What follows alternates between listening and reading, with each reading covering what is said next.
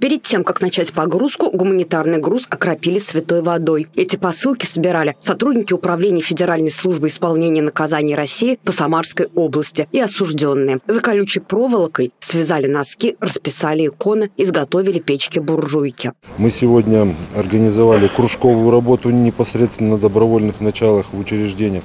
Мы, начиная от вязания э, шарфов, носков и так далее и тому подобное, эта работа проводится. Мы очень тесно взаимодействуем с бизнес-сообществом, которое непосредственно сегодня на нашей территории э, осуществляют определенные работы для того, чтобы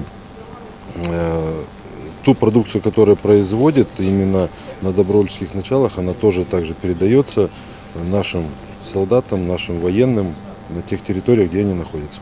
Спасибо вам за все. Среди посылок с продуктами и предметами личной гигиены лежат детские рисунки с надписями и письма. Некоторые дети сотрудников СИН решили отправить в зону СВО свои любимые игрушки. Такие подарки те, кто находится за ленточкой, ждут с особым чувством. С большой благодарностью и большой радостью. Всегда ждут э, новые посылки, новые изделия вон, технические с радостью принимают. У нас уже сложилась добрая традиция, когда мы приезжаем к ребятам, они передают нам письма. Письма для школьников, письма для бабушек. И вот у нас такая переписка происходит.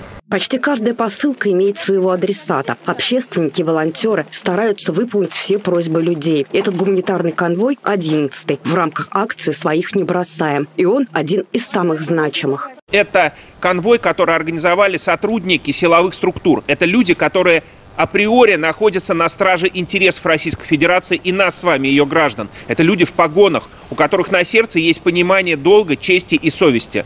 И они смогли силами своего личного состава собрать вот этот серьезный взнос, который мы сегодня отправляем Э, в зону специальной военной операции и на э, территории нашего Донбасса. Самарская область на сегодняшний день входит в пятерку лидеров по оказанию гуманитарной помощи. Следующий конвой отправится из региона 21 февраля. Он будет называться «Палата добра». Светлана Тимофеева, Максим Гусев. События.